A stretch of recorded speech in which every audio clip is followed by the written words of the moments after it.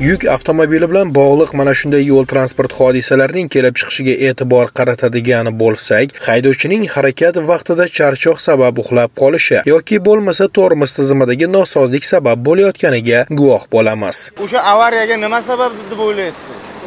Ko'proq uyqusizlik, odam charchashlik, keyingi sababi tez yurishlik, albatta tez yurishlik. Farg'ona viloyatida uzoq masofaga qatnovchi yuk avtomobili haydovchilarini hushyorlikka chorlash va yo'l transport hodisalarini oldini olish maqsadida farg'ona viloyati ichki ishlar boshqarmasi jamoat xavfsizligi xizmati yo'l harakati xavfsizligi boshqarmasi texnika nazorati bo'limi xodimlari tomonidan yo'llarda targ'ibot tadbirlari o'tkazilib haydovchilarga ogohlikka chorlovchi flayerlar tarqatildi